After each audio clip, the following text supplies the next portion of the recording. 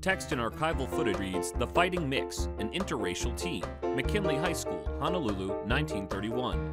A group of high school athletes pose for a photo. Individual athletes pose and smile for the camera. Text Robert Naua, Hawaiian. Earl Liu, Chinese. Masachi Sumura, Japanese. Sue Book Kim, Korean. John Schlief, German. Manuel Perry, Portuguese. With Earl, So, who we are as people in Hawaii, with all the nationalities, I think this is one of the things that stamp us as Hawaiians. So, it's important to us. Sailboats drift through the water by a coastline. A sign above a business reads oh Ono Hawaiian Foods. Another sign reads Dakine Sports Bar, Karaoke, Dart, and Pool. And a third reads Dakine Bike Shop. Red text in a window reads Dakine Bail Bonds, and a sign outside a store reads Get your wig split at the wig shop.